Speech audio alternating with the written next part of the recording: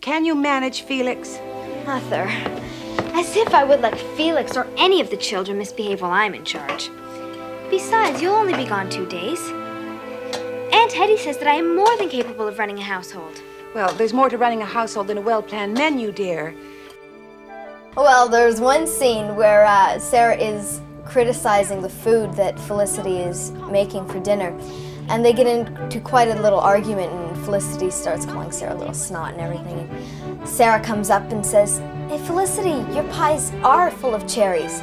And picks up a slop and slops it into her face. And I remember just looking at all of this goo, this red goo, and then all of a sudden seeing it coming towards my face and blech all over the place.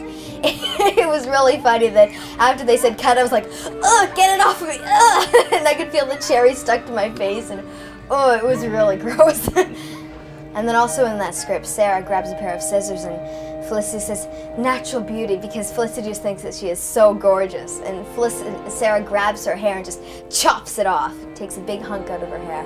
She threw it on my plate, and I let out a big scream, like, ah! and all the crew was just going like this because I screamed so loud. You see, Cecily, no amount of money can buy natural beauty.